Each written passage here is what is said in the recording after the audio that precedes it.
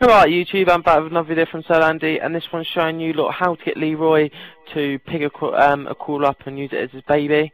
So first of all we need to start, we need to go to the shop where the candy's in and you need to go and get the candy from the um, back store as you see where I get this from now. And once you pick up that, that's good. Make, you need to make sure Leroy's release, um, released as well. And now what you need to do now is put get one zombie as a crawler, so as I do this now.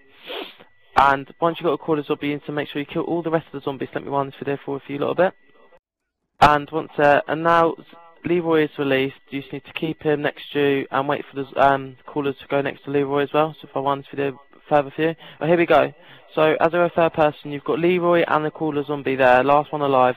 And what you need to do now is give Leroy the um, candy, and if you see what he does now, he runs behind the zombie and he picks it up. And now, as you see, if you want to get in glitches, whatever, do whatever, like go and buy guns or whatever, he will now not let go of that baby. It's not a zombie, it's a baby anymore. And the good thing about this, it doesn't, it doesn't like crawl on the floor, it doesn't let go of it, it doesn't even attack you either.